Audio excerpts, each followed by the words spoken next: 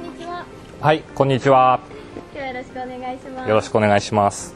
今朝は何を食べましたか？えー、グラノーラと牛乳です。ご出身はどちらですか？はい、ここ葉山上山口です。どんな子供時代でしたか？すごいわんぱくな子供でしたね。子供の頃の夢は？えー、いやちっちゃい頃はおもちゃ屋さん幼稚園の時ですね。それ以降は父親の背中を見て、えー畜産と農業をやっていこうと決心しました。子供の頃に憧れていたヒーローっていますか？えー、ガッチャマンです。なんかこの奥ってどうなってるんですか？はい、この奥は、えー牛のこのベッドがね汚れた時に堆肥として出した山にしてあります。はい。えー、とうちは牛の健康を保つために、えー乳酸菌を食べさせてますで乳酸菌で、えー含んだ糞が出てきて下で分解が始まって、えー匂いが全くほとんどなくなるような乳酸菌なんです。牛って一日何時間ぐらい寝るんですか？だいたい10時間ぐらいです。昼間はだいたいほとんど寝てますね。夜も寝てます。はい。牛には胃が4つある分前歯が上の歯がないんですよ。一日にどれぐらいの量の餌を食べるんですか？だいたい14キロぐらい食べます牛の主役ってどれくらいあるんですか？えー聞いた話なんですけど普通の人の平均よりだいぶ悪いみたいですね牛の耳がいいっていうのは？やはり草食動物なのでやはり肉食動物から守るために耳と鼻とかはいいと思います牛の性格の違いは味に現れますか？現れると思います、えー神経質な牛は周りの環境にすごい左右されてストレスをためやすい体質だと思いますこうやって温厚な牛はやっぱり周りの環境に左右されずのんびりと暮らすんでストレスがないような牛になります？ね、この子はオスなんですけど申し訳ないね メスの方が美味しいですね牛を育てるのに一番気を使っていることは何ですか？えーやっぱりに、えー日頃の健康管理っていうのをすごい気にしてます。毎日毎日牛に餌あげるたんびに健康観察をするっていうのがありますね。乳酸菌株を使った飼料を使っているっていうのは本当ですか？はい。こちらにある餌がそうなんですけどこの中には乳酸菌あといろんな穀物ですね。あと葉山牛の木枠である加熱した飼料おからビールかすお米が混ざってますえー、と乳酸菌はですね、えー腸内環境を良くしてすごい健康体にしてくれます。そんで健康体になった牛っていうのはもうすくすくと育ってくれます。だから病気になりにくい体質になりますね。葉山牛というブランドの特徴について教えてください。はい。葉山牛は、えーもちろん葉山あ三浦半島全域で飼われてる牛で、えー A4A5B4B5 ランクの、えー子供を産んでないメス牛と女性牛になります葉山牛はどんな料理方法がおすすめですか？やはりステーキですかね、どんなところに注目して食べてほしいですか？えーやっぱり牧場牧場で結構味が違うと思いますで物語も違うんでそういうのは分かった上で食べてもらうとより一層美味しく食べてもらえると思います、どの部位のお肉がおすすめですか？えー最近自分はそのサーロインとか脂っこいのがだんだん食べれなくなってきたのでどちらかというともも肉の方さっぱりした方、えー肉の味がある方が好きですね今後畜産で挑戦したいことってありますか？えー僕が小さい頃、えー肉牛をやる前に父親が乳牛をやってました、えーその乳牛をもう一回葉山で復活させたいなと思います、乳牛と畜産牛では育て方って違うんですか？えー餌がもう全然設計が違いますね、行っている畜霊祭とはどんな行事なんですか？えー祭は僕たちが1年間牛を出荷して食べてもらうために、えー出荷しますその中でやはり、えー自分たちは牛に感謝をするっていう、えーために、えー葉山上山口の親善工事で組合員が集まって、え1年牛にお世話になったということで弔うための行事です神奈川で初めてハサップ認証を取得はい、えー肉牛農場で、えー神奈川で初めて昨年の1月に所得しました。ハサップとはどんな認証なんですか？えーこの農場内での気害要因をコントロールするシステムです、どうして導入されようと思ったんですか？えーやはり消費者に安心安全っていうものを提示できるようなものが欲しくてハサップに取り組みました。牧草牛についてはどう思いますか？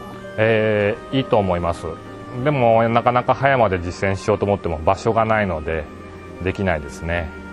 葉山牛以外で注目しているブランド牛はありますか？はい、えー僕が、えー研修に行った三重県の門脇牛物語門脇牧場ですね、石井さんの葉山牛が食べられるレストランありますか？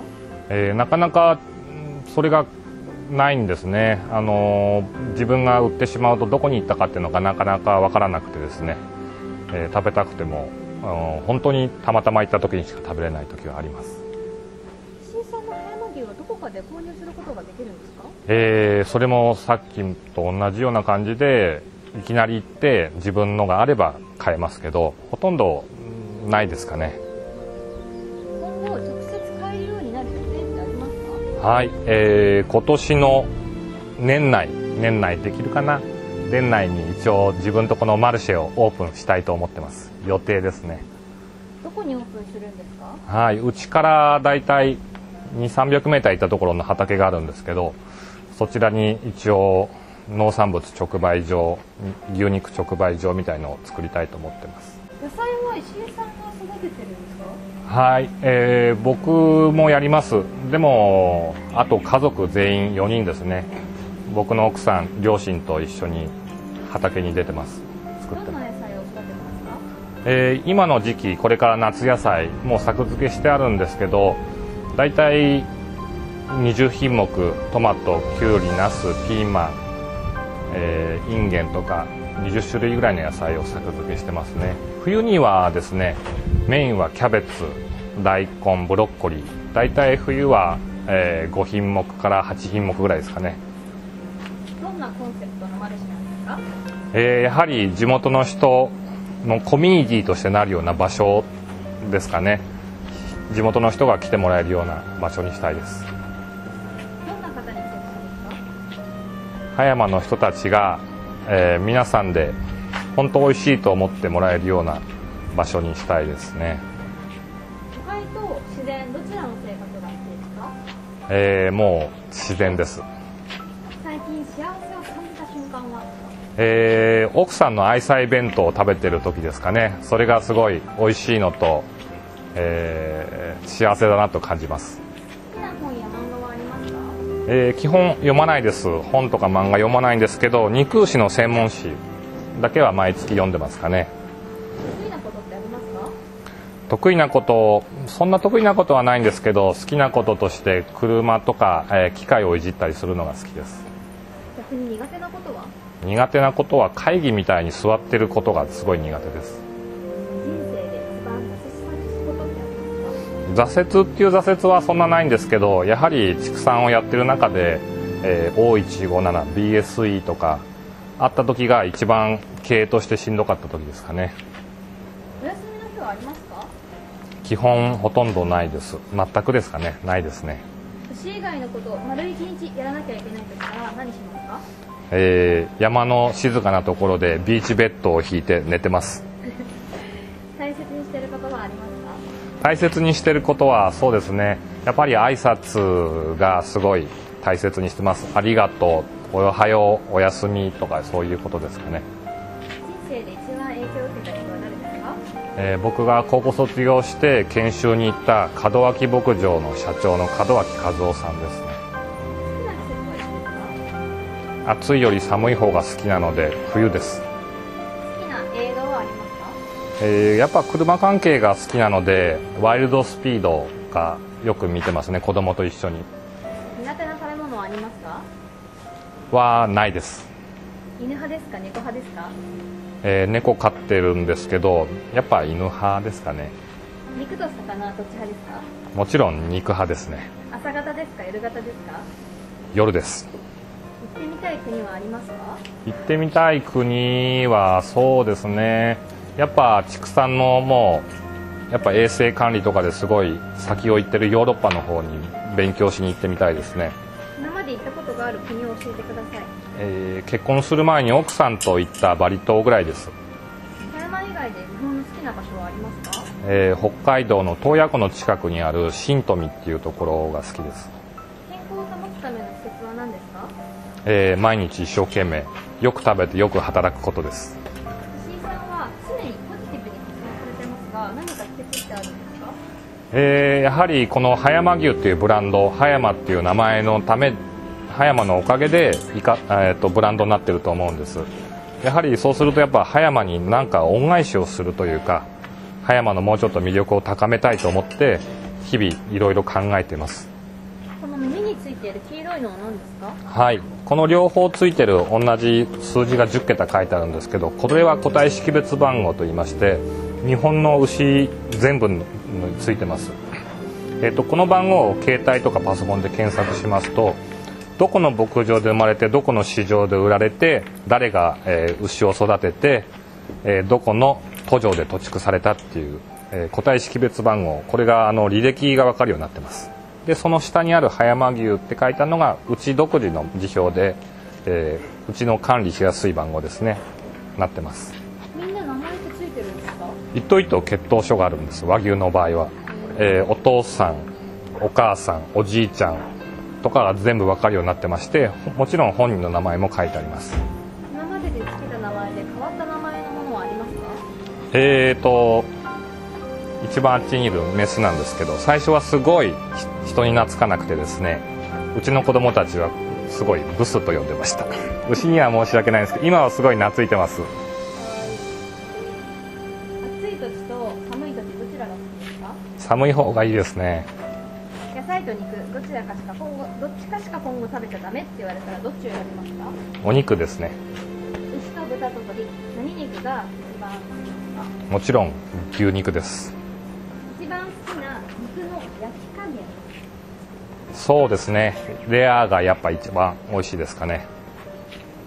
もし今の職についてなかったらどんな職に就きたいですか？多分車関係とかが好きなのでやっぱ車関係のあ整備工場とかにいいたかもしれないですね。学生時代は何かスポーツをされていましたか？はい、えーずっとちっちゃい頃から柔道をやってました。小学校2年生から高校生までた科目とかありますかえーそうですね。学生の頃にやってた選択科目で農業工学っていうのがありましてそこで結構いろいろ農農業機械とか工作物ですかね溶接とかやらせてもらってその科目と体育が好きでしたね。嫌いだった科目とかもありますか？嫌いというより苦手なのが国語と英語でした。あの真ん中にあるのは何ですか？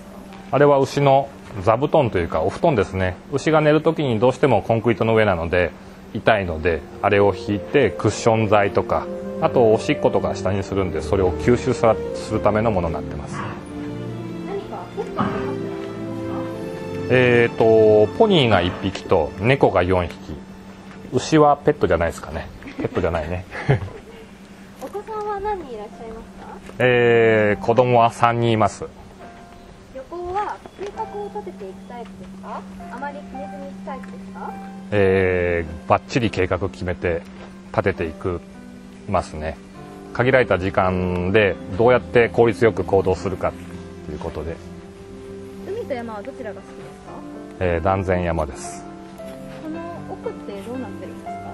この奥はですね、えー、柚子畑があったり、えー竹林タケノコが取れたりその上にはしいた椎茸の原木があったりします。